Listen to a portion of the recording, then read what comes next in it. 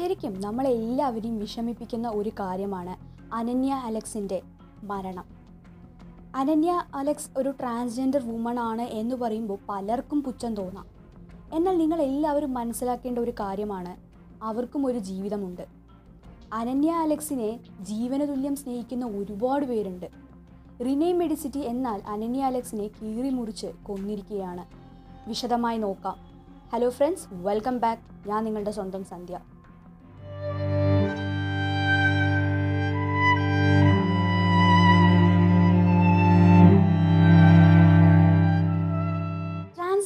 എന്ന് പറയുമ്പോൾ തന്നെ ആരും അവരെ അംഗീകരിക്കില്ല.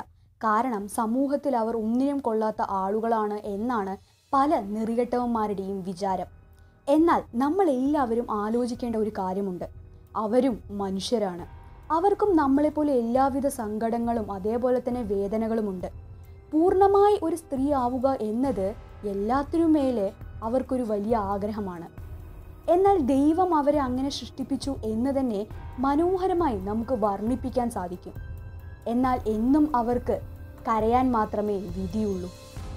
അനന്യ അലക്സ് എന്ന് പറയുന്ന ട്രാൻസ്ജെൻഡർ യുവതി എന്ന് തന്നെ ഒരു മടിയുമില്ലാതെ നമുക്ക് വിശേഷിപ്പിക്കാൻ സാധിക്കും. കാരണം ട്രാൻസ്ജെൻഡർ വുമൻസിനെ അപേക്ഷിച്ച് ഒരു വലിയ പ്രതിഷേധങ്ങളുടെ ശബ്ദമായിരുന്നു അനന്യ അലക്സ്.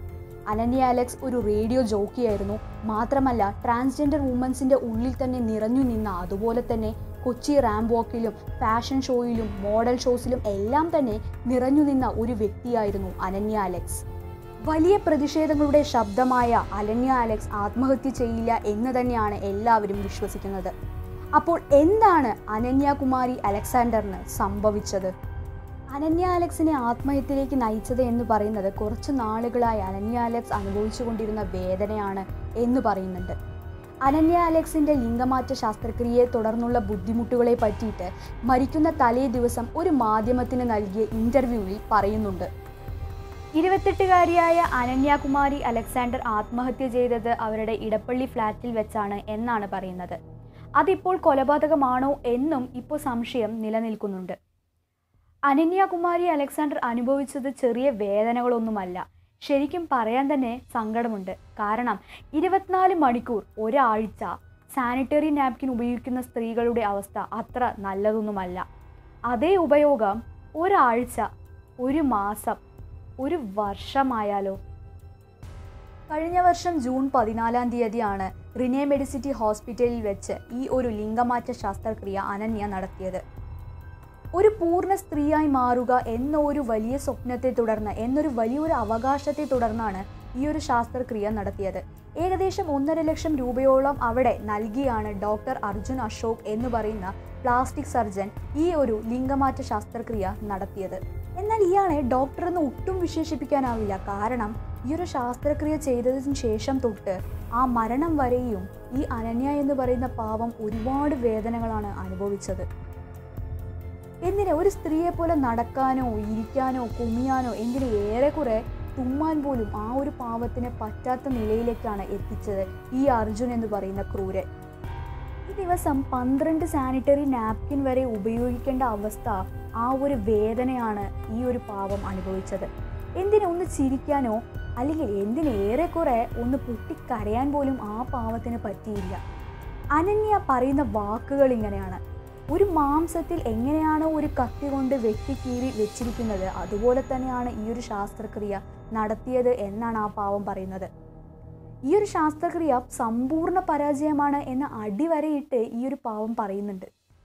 മാത്രമല്ല റിനെ മെഡിസിറ്റിയിലെ ഡോക്ടർ അർജുൻ അശോകും അതുപോലെ തന്നെ ഡോക്ടർ മധു പിന്നെ ആ ഒരു സംഘം എല്ലാം ചേർന്നാണ് ഈ രണ്ടായിരത്തി ഇരുപത് ജൂൺ പതിനാലാം തീയതി ഈ ഒരു ശാസ്ത്രക്രിയ നടത്തിയത്. അതിനുശേഷം ഈ വേദനകൾ ഒന്നും സഹിക്ക വയ്യാതെ വേറൊരു ആശുപത്രിയിൽ പോയി ട്രീറ്റ്മെന്റ് ചെയ്യാനായിട്ട് ഈ മെഡിക്കൽ റെക്കോർഡ്സ് ഇവിടെ ആവശ്യപ്പെട്ടെങ്കിലും ഈ റിനെ മെഡിസിറ്റി ഹോസ്പിറ്റൽ ഈ റെക്കോർഡ്സ് ഒന്നും നൽകാനായി തയ്യാറായില്ല എന്ന് അനന്യ പറയുന്നുണ്ട്. മെഡിക്കൽ റെക്കോർഡ്സ് ആവശ്യപ്പെട്ടും ഒഫീഷ്യലായി മെയിൽ ചെയ്തിട്ടും മാനേജ്മെന്റിന്റെ ഭാഗത്തു നിന്നോ പി ആർ ഒന്റെ ഭാഗത്തു നിന്നോ ഒരു പ്രതികരണവും ഇല്ലായിരുന്നു എന്ന് അനന്യ പറയുന്നുണ്ട്. അതുപോലെ തന്നെ അനന്യ ഈ കൊടുത്ത ഇന്റർവ്യൂ ഞാൻ ലിങ്ക് ഡിസ്ക്രിപ്ഷനിൽ ഇടുന്നുണ്ട്. കാണാത്തവർക്ക് കാണാം. സോ ദയവ് ചെയ്ത് ഇവരെ പോലെയുള്ളവരെ അപമാനിക്കാതെ കുറ്റപ്പെടുത്താതെ നമുക്ക് എല്ലാവർക്കും ഒരുമിച്ച് നിന്ന് ഈ അനന്യയ്ക്ക് വേണ്ടി പ്രതികരിക്കാം. കാരണം അവരും സമൂഹത്തിൽ നല്ല രീതിക്ക് ജീവിക്കേണ്ട ആളുകൾ തന്നെയാണ്. എന്തായാലും ഈ ഒരു സംഭവത്തെ തുടർന്ന് ഗൗരവപൂർവമായി തന്നെ ആരോഗ്യമന്ത്രി അതുപോലെ തന്നെ ലിംഗമാറ്റ ശാസ്ത്രക്രിയ നടത്തുന്ന വിദഗ്ധർ എല്ലാം തന്നെ ഈ കേസിനെ കുറിച്ച് കൂടുതലായി പഠിക്കുന്നുണ്ട്. മാത്രമല്ല പോലീസും അതുപോലെ തന്നെ ഈ ഒരു കേസ് ഗൗരവപൂർവമായി അന്വേഷിക്കാൻ ഒരുങ്ങിയിട്ടുണ്ട്. ആൻഡ് പോസ്റ്റ്മോർട്ടം റിപ്പോർട്ട് വന്നാൽ മാത്രമേ ഇത് ആത്മഹത്യയാണോ അല്ലെങ്കിൽ കൊലപാതകമാണോ എന്ന് വ്യക്തമാകുള്ളൂ. എന്തായാലും അനന്യയ്ക്ക് രീതി ലഭിക്കണം ലഭിക്കുമെന്ന് നമുക്ക് വിശ്വസിക്കാം. സോ മറ്റൊരു വീഡിയോമായി വരുന്നത് വരെ ടിൽ ദെൻ ബൈ